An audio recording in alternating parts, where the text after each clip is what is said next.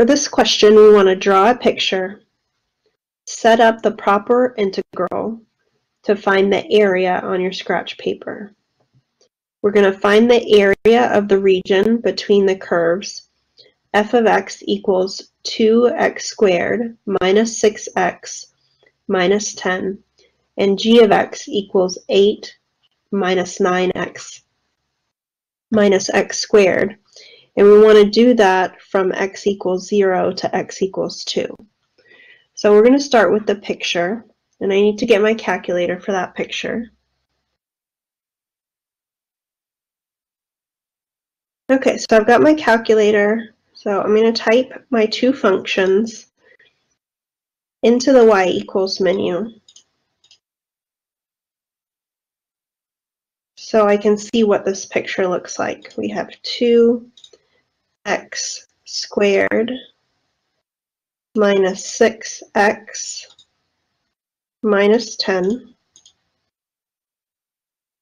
and 8 minus 9x minus x squared. We'll Take a look at that graph. Okay. I'm going to zoom out a little bit because I'm not seeing the full picture here.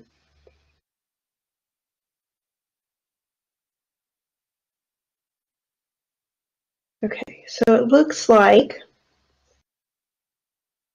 um, let's take a screenshot of this so we can draw on the picture.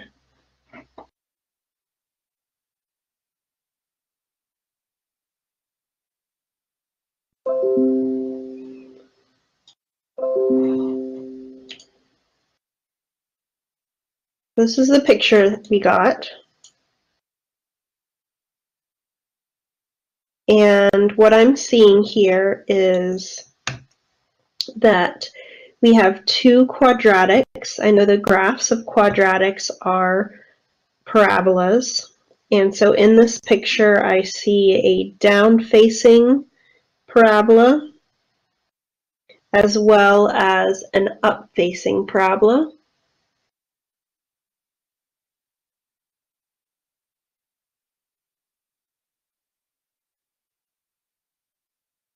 And we want to find um,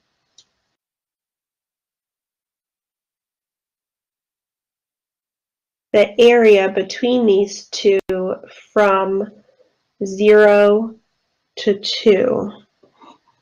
Okay. So from 0 to 2, it's a little bit hard to see because I'm zoomed out. I think might be around here somewhere. So maybe I should take a closer look, zoom in a little bit so we can see it better. So let's do this. Let's change the window. And for x, we really only need to go from, let's say, negative 5 to 5 and we'll leave the Y scale alone.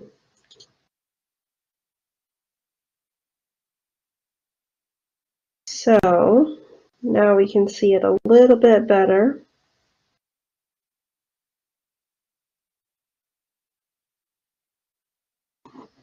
Let's take another screenshot.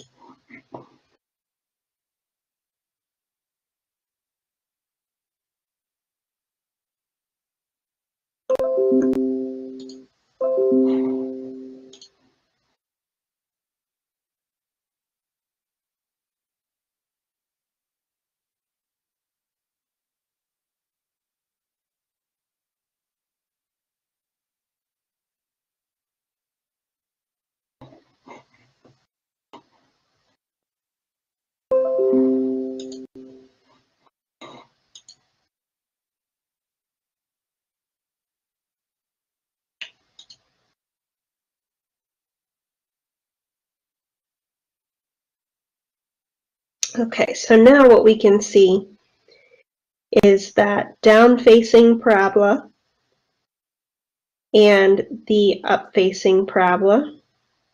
And we want to find the area between these two curves from 0 to 2. So I'm going to highlight the area that we're looking for.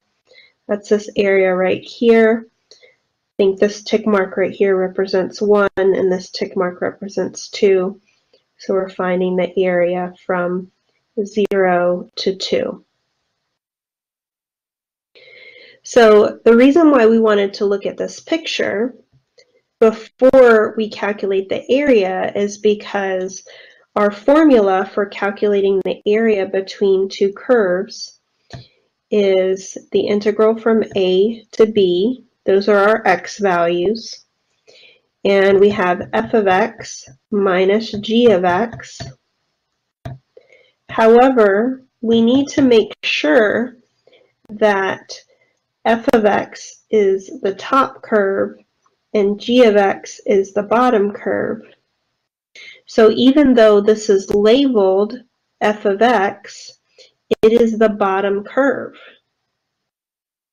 And this is labeled g of x, but it is the top curve. So when we set it up, we don't just blindly put in what is labeled f and g. We need to make sure we put in um, the top curve minus the bottom curve. So when we're setting up our integral to represent area here, it would be the integral from 0 to 2. Those are our bounds on x.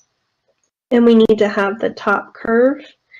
The top curve is 8 minus 9x minus x squared minus the bottom curve of 2x squared minus 6x minus 10 dx.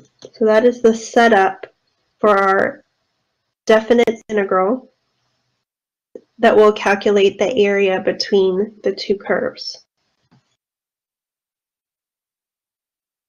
So now let's move forward with the calculation.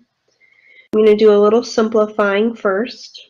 So inside I would distribute this negative and then combine like terms. I have 8 minus 9x minus x squared minus 2x squared uh, plus 6x plus 10 dx and I'll combine like terms to get negative 3x squared minus 3x plus 18 dx. So I'm combining negative x squared and negative 2x squared to get negative 3x squared. I'm combining negative 9x with a positive 6x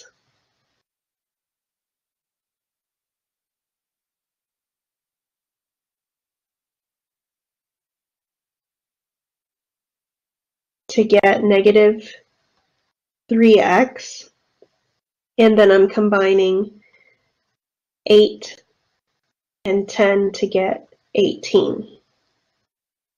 And so just to clarify again, even though f of x was labeled f, it is the bottom curve because it's this up-facing parabola here.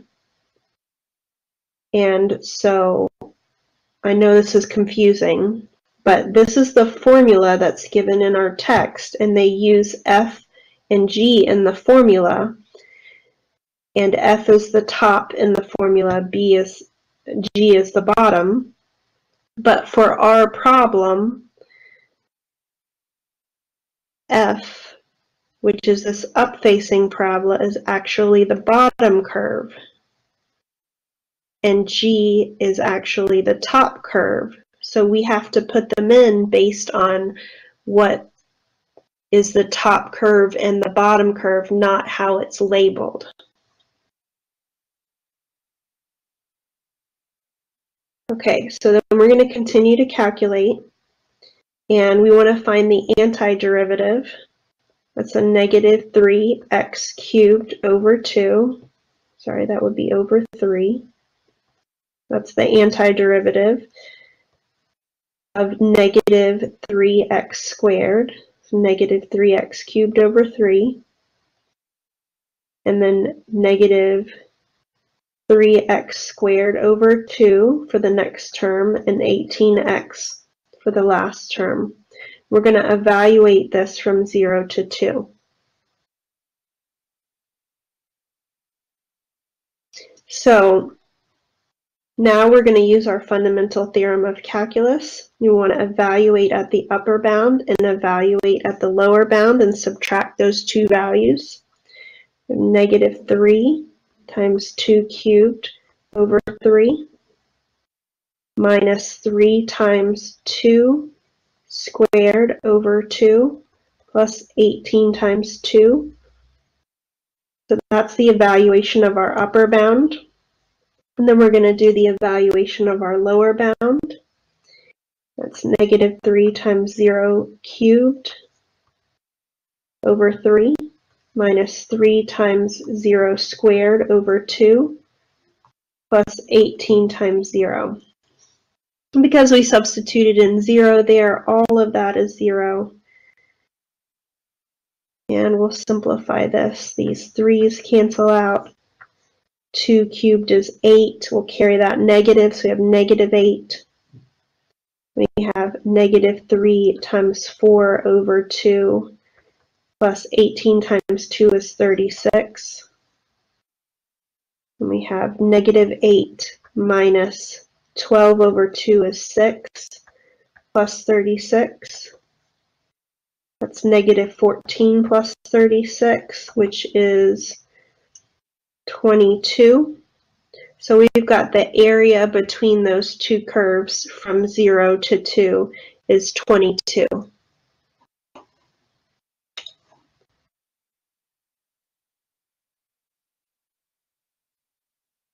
On this one, we want to draw a picture and write the setup on our scratch paper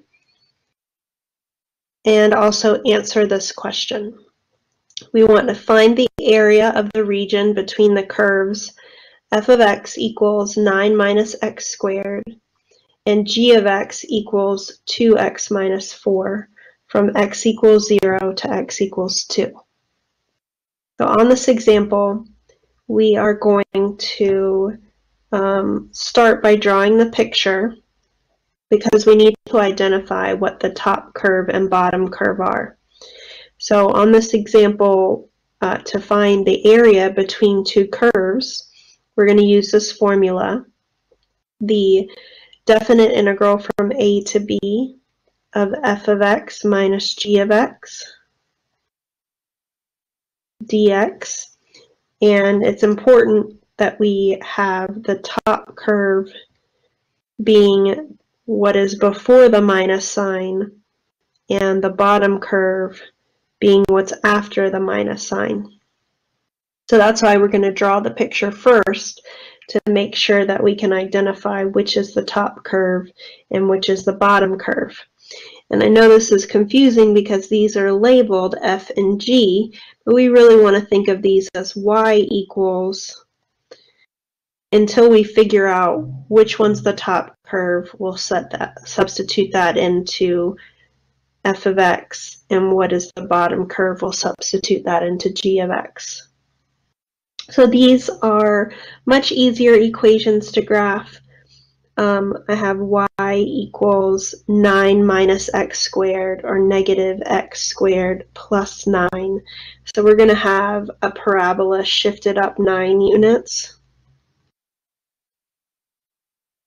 And it's also going to be facing down because of that negative. And then our other equation, y equals 2x minus 4. That is a linear equation I've got a slope of 2 and a y-intercept of negative 4. I'm going to go down 4. And I'm going to rise to run 1. And we've got a line that looks like this. So we want to find the area between these two curves from x equals 0 to x equals 2. And so I'm going to draw uh, a vertical line at x equals 0 and x equals 2 I think would be about here. And that identifies the area that we're looking for.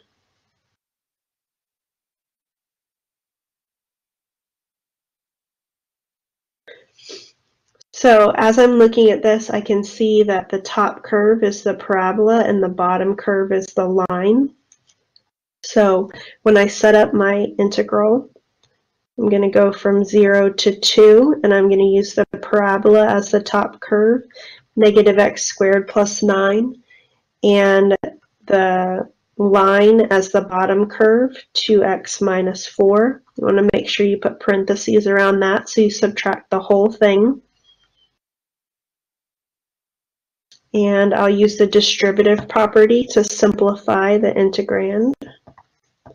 I've got the integral from 0 to 2 of negative x squared plus 9 minus 2x plus 4. We'll combine like terms to get negative x squared minus 2x plus 13. So now that we've simplified the integral, integrand, I will calculate the antiderivative of each term. The antiderivative of x squared, negative x squared, would be negative x cubed over 3. The antiderivative for negative 2x would be negative 2x squared over 2. The antiderivative of 13 will be 13x. And we're going to evaluate this with the fundamental theorem of calculus from 0 to 2. We're going to evaluate at the upper bound, evaluate at the lower bound, and subtract those two values. We've got negative 2 cubed over 3 minus 2 times 2 squared over 2 plus 13 times 2 minus, so I've evaluated at the upper bound, now I'm going to evaluate at the lower bound. It's negative 0 cubed over 3 minus 2 times 0 squared over 2 plus 13 times 0. All of that is 0. We have negative 8 over 3 these 2's cancel, so that's minus 4 plus 26. And 26 minus 4 would be 22, positive 22, and I need to combine that with a negative 8 thirds. So let's take that 22 and multiply by 3 over 3. We have 66 over 3 plus negative 8 over 3. Now that we have a common denominator, we're going to do 66 minus 8, which would be 58 over 3. And that would represent the area between those two curves.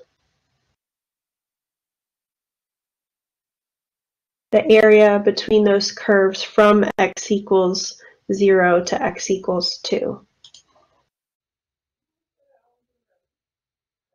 Thank you for checking out my videos. Have a great day.